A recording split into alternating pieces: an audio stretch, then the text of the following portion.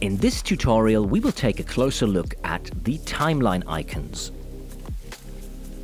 The first icon allows you to zoom in and out of the timeline using a fader.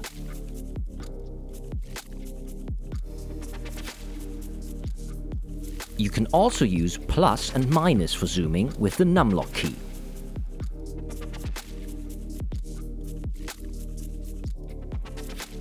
Icon number 2 allows you to adjust the size of all layers in case you need more actual space while working with the timeline.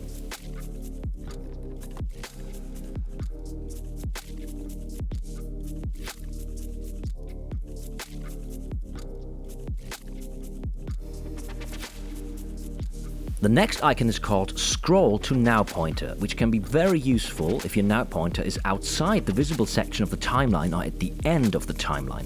Then you can scroll or rather jump to the current position of the now pointer using that icon button. Let's just demonstrate this for a second. A quick clip on the icon and there you are.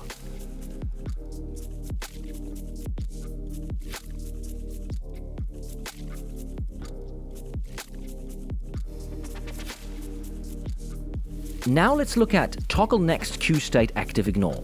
This means once our timeline is playing, you can deactivate the next cue. As you can see, the cue is red and would be skipped during the next playout round. The next icon, a plus, allows you to easily add a layer. We'll add one and adjust the layer size so that you can see it actually works.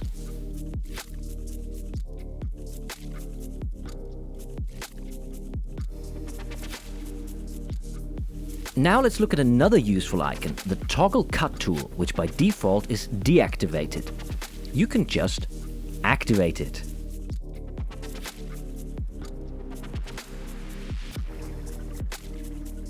Once you get to the upper border of a clip, the cut tool appears.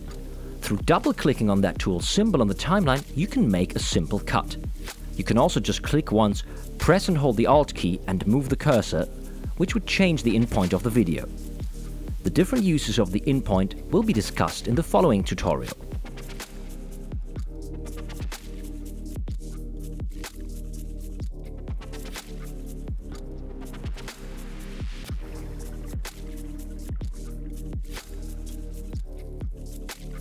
Next on our list of timeline icons is Joint Kind, which can also be used by pressing the key shortcut J. If you create a keyframe, then by using this icon, you can switch between linear, Bezier, and Bezier corner.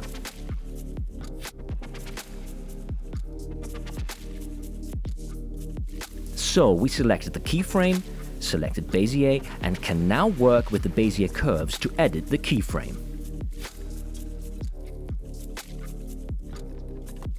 Lock movement to vertical axis is another timeline tool, which we will now look at. Once it is activated, the movement on the horizontal axis has been intentionally limited. I can only move the clip vertically now. We have almost the exact same option in the form of lock movement to horizontal axis, which does the exact same thing, but this time when selected, you can only move the clip horizontally. The last two icons in this list are Preview Edit and Export Timeline. One activates the Preview Edit function, the other allows you to export the timeline, which will both be covered in future tutorials.